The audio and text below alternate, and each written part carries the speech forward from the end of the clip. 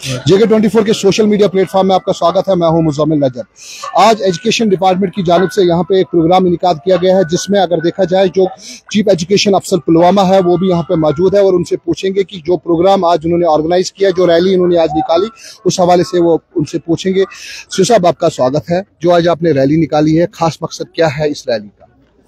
इस रैली का मकसद अवेयरनेस है।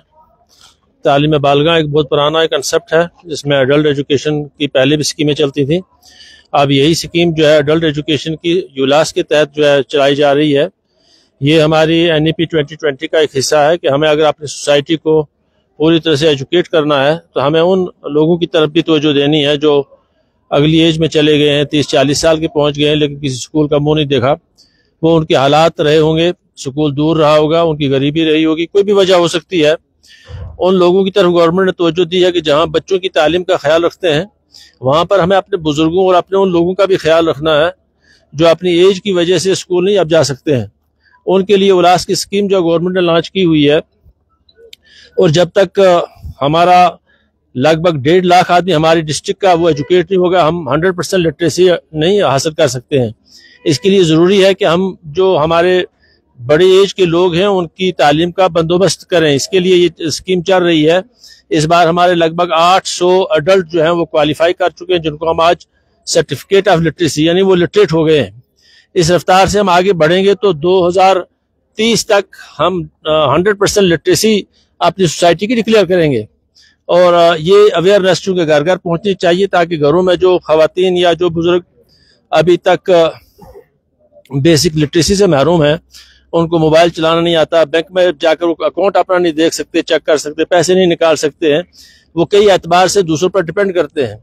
उनकी अवेयरनेस के लिए ये रैली हमने निकाली, अभी एक प्रोग्राम भी होने जा रहा है अवेयरनेस का। और ये रैली जो है अवेयरनेस के लिए हमने शहर में निकाली है। यू साहब खास तौर पे अगर देखा जाए कितने इलाके इसमें खास तौर पे अगर हमारे देहात भी आते हैं इसमें कितने लोगों ने इसका लाभ उठाया आज तक और कितने लोग इसमें क्वालिफाई हो गए हैं? अभी मैंने बताया कि अभी हमारे जो पिछले एग्ज़ाम हुए उसमें आठ हज़ार अडल्ट जो है वो क्वालिफाई हुए हैं। तो कौन कौन से इलाके हैं उसमें जहाँ पे आठ हज़ार लोग क्वालिफाई हो गए? ये ज़्यादातर जो है गाँव का पेरिफेरल एरिया है और शहर में कम तादाद है उन लोगों की जो लिटरेट हैं, क्योंकि लिटरेसी का रेट लाजमन जो है उन जगहों में कम रहता है, जहाँ पर तालीम का अब भी बहुत मुश्किल से हम स्कूल खुले हैं, वहाँ पर वो रुझान नहीं बना है। तो जो पेरिफेरल एरियाज़ हैं, उनमें ज़्यादा तादाद है उन लोगों की जिनको ज़रूरत है कि एडल्ट एजुकेशन के ज़रिए हम उन्हें लिटरेट बनाएँ। तो खास क्या रहेगी लोगों के लिए मैसेज? और खास तौर पे जो आपने अवेयरनेस प्रोग्राम गाँव देहात में जो चलाया, उसमें बच्चों को कहा कि गवर्नमेंट स्कूलों में एडमिशन करें तो कितना उसमें भी इम्प्रूवमेंट हो गया नहीं, इससे इम्प्रूवमेंट स्कूलों में भी आएगी, क्योंकि जिस घर का बड़ा बुज़ुर्ग जो है वो पढ़ना, किताब लेकर पढ़ना शुरू कर देगा तो लाजमत बच्चे पर भी उसका असर पड़ेगा। और वो बच्चे को भी स्कूल भेजेगा ज़रूर, लेकिन जिस घर में वो बड़ा एज का आदमी स्कूल जा, नहीं जा सकता है शर्म मास करता है। उसके लिए सिर्फ़ यह है कि उसके घर पर जाकर या तो उसका बेटा उसका पोता जो घर में है उसके ज़रिए सर्विसेज़ उसकी लिटरेट बनाने के लिए जा सकती हैं और वो हम करते हैं। या पास में कोई उस्ताद है या पास में जो दूसरा आदमी वॉल्टियर हो सकता है वो उस घर में जाकर पढ़ाता है। या कुछ चंद बुज़ुर्ग लोग इकट्ठे होकर वो पढ़ाते हैं। हमने सिलसिले में मस्जिदों को और मकतब को भी जो है ये अवेयरनेस का हिस्सा बनाया है कि जो लोग बड़े हैं वो अपने मजहबी कुरान शरीफ पढ़ने या किसी वजह से वहाँ से भी जाकर अपनी तालीम हासिल कर सकते हैं और वहाँ से, से भी बेसिक अवेयरनेस उनको हासिल होती है। लेकिन हमारी चूँकि पूरी टीम पूरे डिस्ट्रिक्ट भर में फैली हुई है और मनजम तरीके से ये काम चल रहा है।